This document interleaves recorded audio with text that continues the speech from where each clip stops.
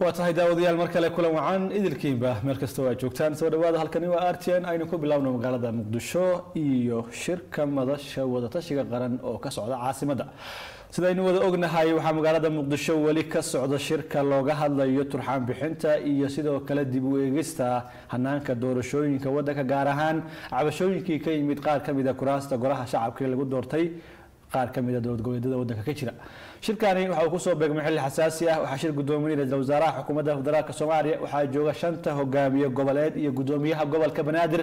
Intuba waxay wada gorfaynayaan ka hadalka doorashooyinka faaqidaada caqabadaha jira iyo in laysla qaato sida ugu habboon ee xal loogu heli karayo dhammaan dhibaatooyinka jira wararkii ugu dambeeyey ee ka imaanaya magaalada muqdisho waxay sheegayaan in madaxdu inta badan ay isla soo qaadeen oo ay gorfeeyeen oo ay miiska soo saareen qodobada loo arkay inay yihiin kuwo caqabad badani ay ka jirto oo hanaanka doorashada ay qusayso. Doorashada golaha shacabka ee baarlamaanka jamhuuriyadda oo qaar ka mida kuraastoodu la doortay ayaa waxa ay ka timi cabasho fara badan. Habka qaarkood doorashadoodu ay u dhacday iyo sida natiijadooda loogu murmay intooda badani waxay qireen muhiimadda ay leedahay in xal loo helo dabcan kuraasta qaar oo la sheegay inay ka jiraan caqabado ballaaran oo shakhsiyaad gaara la tuunsan yahay in loo xiray taasina ay ka fog tahay habka cadaalad furan in loo tartamo hogaamiyaasha gobollada jubbaland koonfur galbeed puntland galmudug hirshabeelle iyo sidoo kale dabcan gobolka banaadir ayaa intuba wada jooga madasha shirka. Sidoo kale ra'iisul wasaaraha xukuumadda oo shir gudoonka shirka ah ayaa isaguna shir gudoominaya wadahadalada kan shirkan oo dabcan ay dib uga soo biireen golaha midooda musharaxiinta xubno matalayay iyo sidoo kale iyo sidoo kale qaar ka mid ah wakiilada beesha caalamka ayaa la iskula soo qaaday in iyaguna laga dhagaysto talooyinkooda iyo aragtiyaha qaar ay ku biirin karayaan wadahadalada si halkaas ay uga soo baxaan qodobo midho dhal u noqon karaya jihaynta doorasho iyo xal u helista caqabadaha ragaajiyey doorashooyinka waddanka wararkii ugu dambeeyey sidoo kale waxay sheegayaan in madaxdu inta badan ay ka fikirayaan suurtagalnimada qodobada qaar oo ay aaminsan yihiin inay caqabado dul hoganayaan gaar ahaan marka ay noqoto in laba deegaan doorasho laga tago oo hal deegaan lagu soo koobo taasi weli may helin caqlabiyadda ama aqlabiyadda ku filan ee ogolaanshiyaha lagu meelmarin karayo hal deegaan doorasho. Sidoo kale arrinta amniga doorashada ayaa mid xasaasi ah oo wakhtigani uu jiro khilaaf siyaasadeed una dhexeeya madaxweynaha jamhuuriyadda iyo wasaaraha xukuumadda federaalk soomaaliya. Waxaana moodaa in mucaaradka qaarkood iyo hogaamiyaasha goboladu ay cadaadinayaan ra'iisul wasaaraha si uu doorka amniga dalka uu isaga ula soo wareego maadaama ay aaminsan yihiin in madaxweynuhu uu yahay musharax sidoo kalena laga yaabo in awoodihiisa gaarka u adeegsado si u meelmariyo ajandayaasha gaarka u ah damaciisa doorasho. Dabcan iyadoo arrimahaasi ay jiraan ayay inta badani wakiilada caalamku iyo shacbiga soomaaliyeed dhowrayaan war u wanaagsan dhagahooda oo ah in hogaamiyaashu ay heshiiyaan xal gaaraan horey u socdaan la sii wado doorashooyinka midda ugu muhiimsani waa in la ogyahay goorta ay soo gabagaboobayso doorashada golaha shacabka. Tirada guud ee golahu waa laba boqol shan iyo toddobaatan xubnood. Hadda dabcan tiro kooban ayay soo doorteen hogaamiyaasha gobollada sida jubbaland iyo koonfur galbeed iyo sidoo kale dabcan galmudug iyo xubnaha gobollada waqooyi. Hirshabeelle iyo puntland ayaa la dhowraya iyaguna inay soo galaan safka doorashada. Waxaana moodaa marka loo eego in hadda oo uu curtay sanadka cusub ee labada kun iyo laba iyo labaatanka inay ka dhigan tahay bilihiisa hore in la soo gabagabeeyo doorashada golaha shacabka.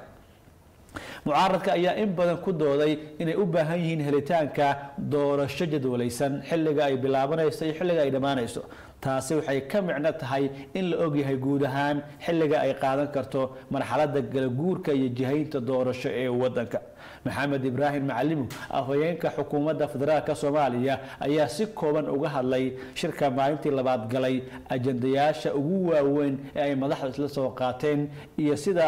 markii ay ku soo biireen fadhiga golaha midooda musharaxiinta iyo wakiilo ka socday beesha caalamka uu noqday maanta galay maalintii labaad ee shirka golaha wadatashiga qaranka soomaaliyeed oo uu shir gudoominaya ra'iisul wasaare maxamed xuseen rooble. Waxaa ka wada qayb galay dhammaan xubnaha ama madaxda dowlad goboleedyada iyo guddoomiyaha gobolka banaadir ee golaha wadatashiga qaranka soomaaliyeed.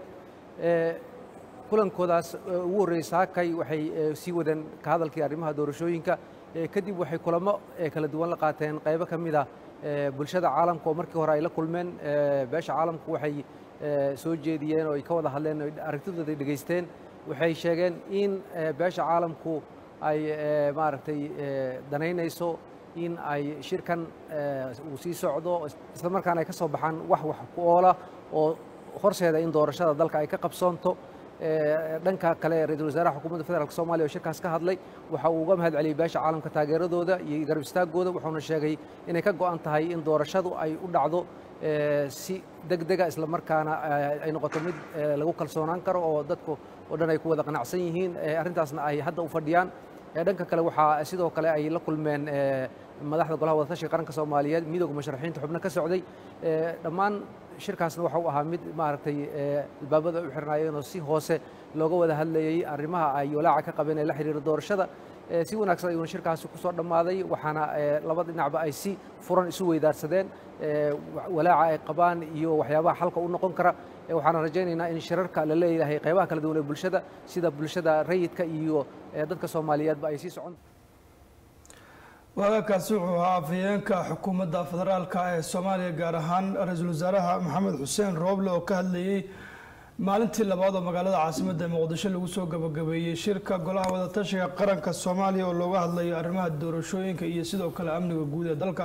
iyadoona musharaxiinta midooda musharaxiinta qaarkood iyo sidoo kale xubno ka socday beesha caalamku ay shirkaasi maalintii shalay ay ku biireen siyaabo looga wada hadlo caqabadaha ku gadaaman in doorasho la isla ogol yahay oo dabcan siyaasada siyaasiyiinta guud iyo musharaxiinta iyo dhammaan qof kastoo musharaxa oo ka qeybgalaya doorashadaasi ay dabcan wada ogol yihiin ee looga qaban lahaa dalka soomaaliya wararka kale ee shirkaasi ka soo baxaya ayaa dabcan waxa ay tilmaamayaan in midooda musharaxiinta qaarkood ay ra'iisul wasaare maxamed xuseen rooble ku cadaadinayaan inuu gebi ahaanba ama warmutiyeedka maanta lagu wada inuu ka soo baxo shirkaasi lagu soo daro in amniga iyo si guudba doorashooyinka dalku ay isaga u hoos yimaadaan. Warar hoose oo aan helin ayaa sidoo kale waxa ay sheegayaan in qaar ka tirsan madaxda maamul goboleedyada oo lagu tilmaamay inay ka mid yihiin koonfur galbeed iyo galmudug inay ka soo horjeedaan in warmurtiyeedka la wado in maanta ay ka soo baxo shirkaasi in lagu soo daro amniga siyaasadda guud ee amniga dalka iyadoona ay ku andacoonayaan sida la sheegay. In horey madaxweynaha jamhuuriyadda federaalk ee soomaaliya maxamed cabdulaahi farmaajo uu ra'iisul wasaare maxamed xuseen rooble ugu wareejiyey amniga iyo sidoo kale arrimaha doorashooyinka. Waxayna ka soo horjeedaan ayaa la leeyahay in maanta lagu soo daro ajadaha lagu soo gabagabeynayo guud ahaanba shirka golaha wadatashiga qaranka oo maalmihii u dambeysay ka socday magaalada caasimada muqdisho. Waagaag haddii aynu halkaasi uga nimaadno shirkaasi muqdisho ka socda oo la rajeynaya maanta arbaca inuu ka soo gabagaboobo muqdisho. Wararka iyo sidoo kale barnaamijyada ka bixi doona t v-ga ayaad kula socon doontaan waxyaabaha ugu muhiimsan ee la isku wada afgarto iyo sidoo kale waxa ka soo baxa iyo warmurtiyeedka ay si wada jira u soo saaraan dhammaanba siyaasiyiinta ku midaysan in shirkaasi dabcan lagu soo gabagabeeyey jawi nabdoon